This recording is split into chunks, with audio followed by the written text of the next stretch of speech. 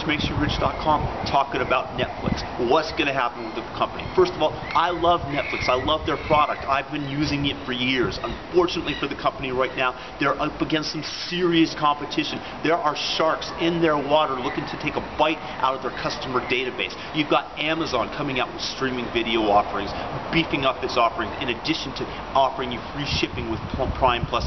Verizon's teaming with Coinstar for a DVD plus streaming video offering. Comcast Cable offered for $4.99, $3 cheaper than Netflix currently at $7.99 for streaming video. The bottom line is Netflix is faced with gigantic competition.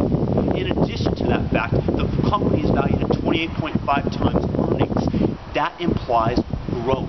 I don't necessarily see the growth. I see their market share deteriorating, and the company's stock will go down accordingly as new companies take away Netflix's share.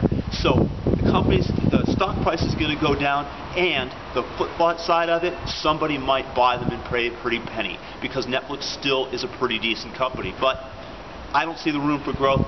If I had to pick on the company alone, it's going to go down.